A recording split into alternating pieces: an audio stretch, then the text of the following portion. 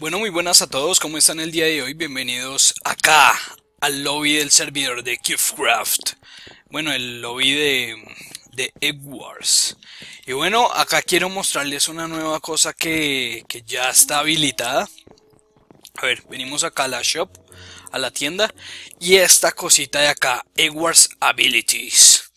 Antes no estaba habilitada, ahora sí. Ahora con puntos van a poder comprar cosas. Por ejemplo, eh, si ustedes compran esta plumita es para hacer menos daño al momento de caer. Yo ya lo tengo acá que es 50% menos de daño 50% de las veces. A ver, el Egg Cracker, entonces para ganar pociones. Eh, ¿Cómo diría esto? Eh, un chance de ganar una, poción positiva eh, cada vez que rompemos un huevo. Y Iron Belly es que tenemos eh, menos hambre por decirlo de alguna manera. Así que esto era lo que les quería comentar a ustedes en este video. Y bueno, vamos a ver. No sé si quieran que entremos a, a un juego de Tea Party. Esperemos a ver.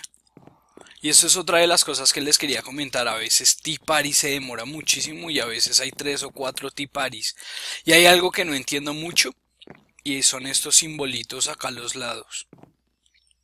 De tres, tres. Ah, bueno. Me imagino yo que es por el número de personas por equipo. Se me acaba de ocurrir y creo que es eso.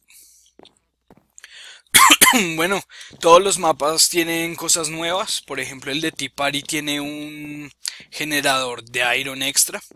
No sé si es solo para, para las fiestas, pero me encantaría que se quedara porque agiliza todo muchísimo más.